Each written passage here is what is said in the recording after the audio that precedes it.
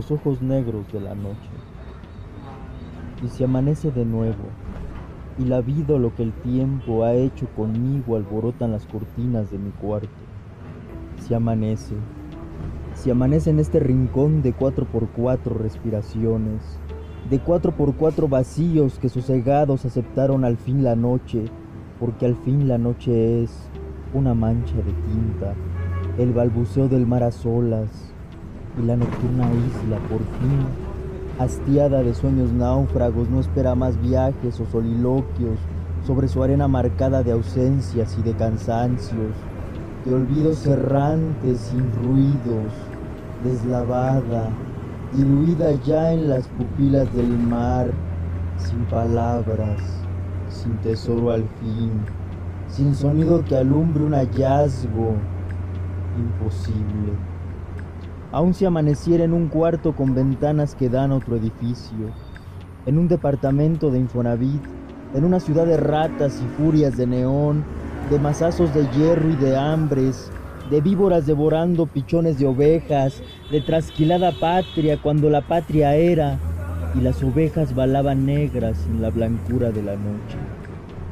Imposible esperar un piélago de cantos en este fermento de gargantas, ahora que mi deseo y mis insomnios han encanecido sus marinos.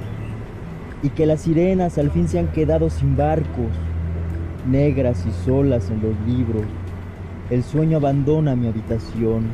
Será inquilino de otras cabelleras que serán ríos de panteras enlazadas, de sombras desembocadas de agua y sal heridas, en bocas de otras bocas, en sangres de vocabularios imposibles, con la misma urgencia de desbaratar letra a letra el cuerpo, hasta dejar viva la carne en su alegría de dolor hallado, de magnolia abierta, en su erupción de muerte viva 30 metros debajo de ellos, diez mil años debajo de ellos, de todos nosotros, infatigable como una tormenta en medio del mar, como un loco aferrándose a su infierno, blanca juventud, macizo trópico, ballenas febriles, corazones mordidos, sangrando, sin querer poner la cicatriz aún de un hombre, de uno solo porque junio, ese junio que nos enferma todo y que tarde o temprano nos amarga,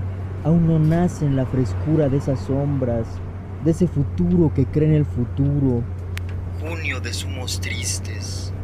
Junio de soledad, de voz de cántaro roto, al fin puedo, incluso molido de sentimiento, a pesar de que amanezca desmoronado y moreno de amor, poner de espaldas las cortinas a todo y mellar el filo de los cuchillos del goce en este marco sin espejos de cuatro por cuatro, en mi muerte de cuatro por cuatro, sin paz ni guerra, sin ojos que sustenten estas manos, sin labios que ardan esta voluntad finada y fincada en mis propios huesos.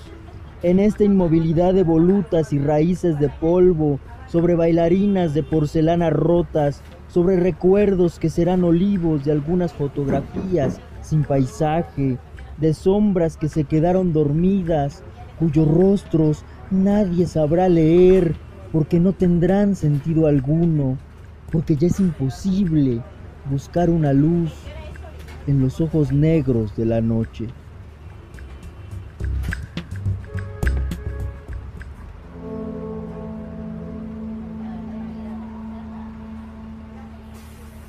la misma luz entonces.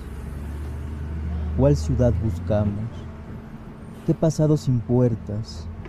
¿Cuáles dulcerías o panaderías han endurecido con los años?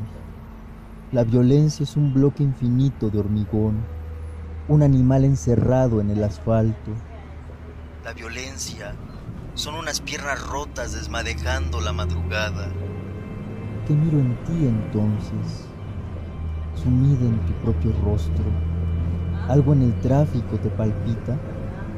Es el malabar de huérfanos amputados, la niña con los globos o los tumores en las nalgas, el ciego estirándote los ojos de sus manos, el deseo de sus mil dedos.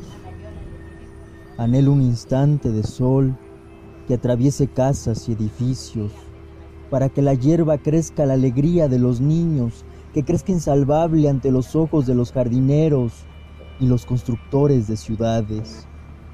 Si la lluvia penetrara ese aguacero negro de luz que te deja absorta en la corona de la miseria, se abren, se cierran las puertas del camión, la gente sube y acomoda al asiento su cansancio, los lentes, el saco y la mochila al clavo angustioso del sueldo y los deberes, del amor cada vez más enterrado en la muralla de los días. Tú sigues allí, en los apetitos de ese sol que inflama y enferma, ruedas entre el cementerio de coches, entre el juego de gritos y de niños feroces, ruidos por las calles y los semáforos y tantas otras luces sin fortuna. Te veo como si fueras parte de otro tiempo, como si en mi infancia hubieras acariciado a mi perro y preguntado su nombre. Recuerdo hoy sus ojos, quizá por breve tiempo yo tuve los mismos.